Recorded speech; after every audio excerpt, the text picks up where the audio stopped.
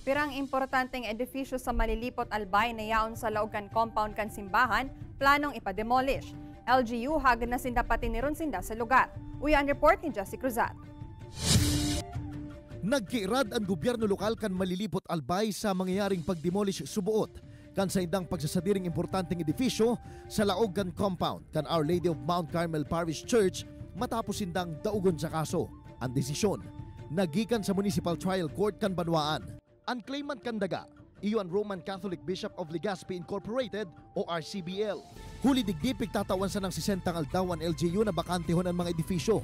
Sigun kay Alcalde Rolly Volante, nagprobar subot sindang arkilahan o bakalon ang lote tangan isa ng magamit kan mga namamanwaan. Alaga day nagtugot ang simbahan.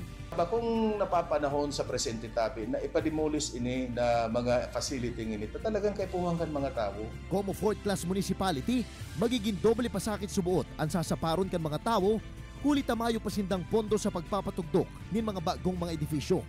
Huli digdi, nagpasar nin resolusyon ang sangguniang bayan na nagpo-otorisa sa alkalde na magsangat nin expropriation case kontra sa RCBL tanganing mailaban kan LGU sa indang subot diretsos sa sarong pribadong daga na mapabor sa publiko. Ang prayer mi na day day matugutan na i-demolish tabi ini na na na mga na mga facility ini. Yaon sa lugar ang Rural Health Unit, Office of the Senior Citizens Affair, 4-Piece Office, asin Barangay Hall kan Barangay 5. Mientras tanto, pigprobara naman na makuan lado kan RCBL. Alagad nagsayuman na munang magkomento, hulit na ipasubot nindan nariresibe ang kopya kan desisyon kan MTC. Ini si Jesse Cruzat, Balitang Bicolandia,